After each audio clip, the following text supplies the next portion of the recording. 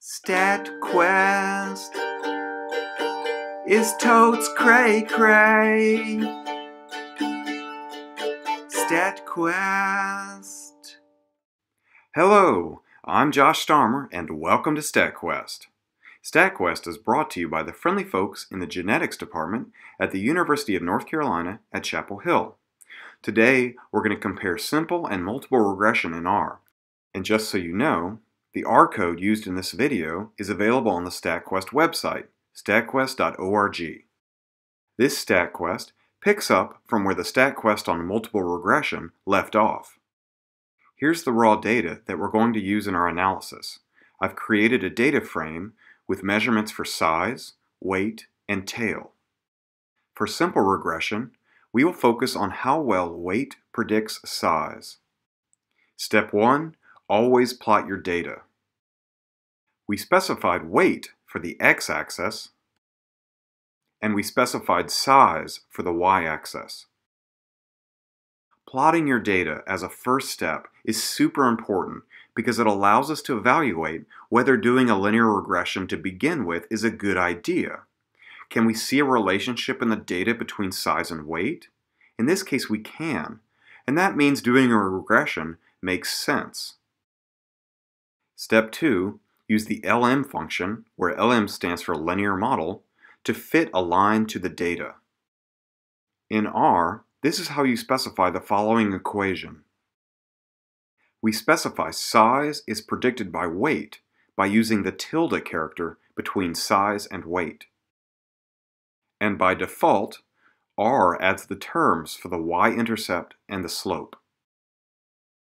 R then uses least squares to find the values for the y-intercept and the slope that minimize the squared residuals from the line. Once we've run the linear models function and saved the output in a variable called simple.regression, we can get a summary of that regression using the summary function. Calling the summary function on simple.regression gives us a huge pile of stuff.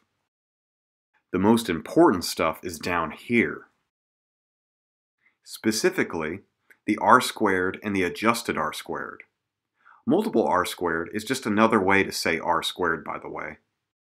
Also, for simple regression, the multiple r squared value, or just plain old r squared, is the one we're interested in. The adjusted r squared only applies when we have more complicated models. We'll use it later when we do multiple regression. There's also the p-value down here. Together, the r squared, which equals 0.613, and the p-value, which equals 0.012, say that weight does a pretty good job predicting size. The last thing we want to do for our simple regression is add a line that shows the least squares fit on the graph. We do this using the AB line function. Now let's do some multiple regression. For multiple regression, we will use weight and tail to predict size. Step 1. Always plot your data. Since we didn't specify the x and y axes, R plots all the data columns, size, weight, and tail, against each other. This is super useful because it generates all the plots we need to decide whether doing a multiple regression with this data makes sense or not. This graph plots size on the y-axis and weight on the x-axis. This is what we used before in the simple regression. Down here, we have the same exact data, however this time, size is on the x-axis and weight is on the y-axis. These two graphs are similar, only the axes have been flipped. The graph in the upper right-hand corner has size on the y-axis and tail on the x-axis. And in the lower left-hand corner, we have another graph that's very similar, just the axes have been flipped.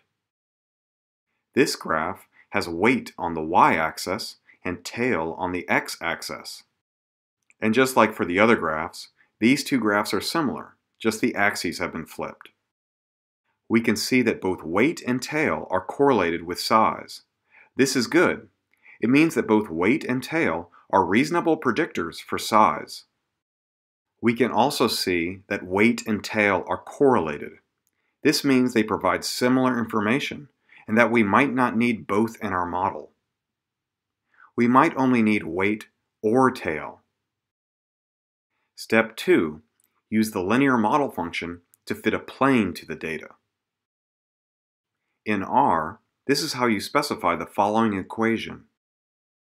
Using the tilde and the plus symbols, we specify that size is predicted by weight and tail. And by default, R adds the terms for the y-intercept and slope 1 and slope 2. Once we've run the linear models function, we can print out a summary of the results using the summary function. Again, summary gives us a big pile of stuff. The r squared, adjusted r squared, and the p-value look good. Hooray! Note, since we're doing multiple regression, we're now more interested in the adjusted r squared value. With multiple regression, this section is more interesting. This line compares the multiple regression to the simple regression. It compares this model, which uses both weight and tail to predict size, to this simpler model, where we're just using tail to predict size. This is the p-value. It means that using weight and tail isn't significantly better than using tail alone to predict size. Now let's look at this line. It compares the fancy multiple regression where we use weight and tail to predict size to a simple regression where we just use weight to predict size. This is the p-value. It means that using weight and tail is significantly better than using weight alone to predict size.